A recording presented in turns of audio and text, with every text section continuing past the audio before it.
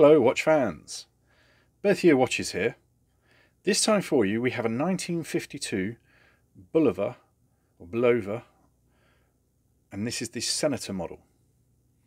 Now what you've got here is fantastic horned lugs.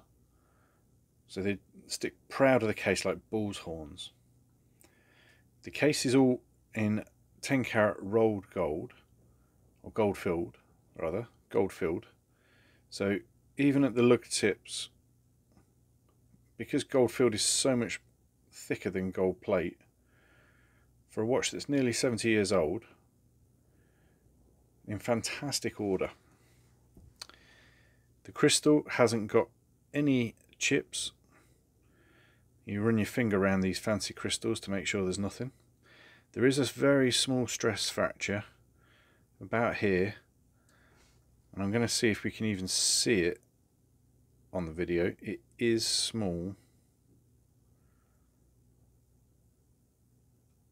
To be honest, I can't even find it on there, but it is there. Uh, which shows you how small it is signed crown. Now the bracelet looks very similar because we've got a photo of the of this model on the website from a different source and it looks very similar. So this could be the original expanding bracelet. It will fit a wrist up to about 190 centimeters comfortably, maybe a bit more. And we do like the actual dial decals on this. The way that they've done those Art Deco numerals, very nice. So Great watch, good condition, working well, nice design.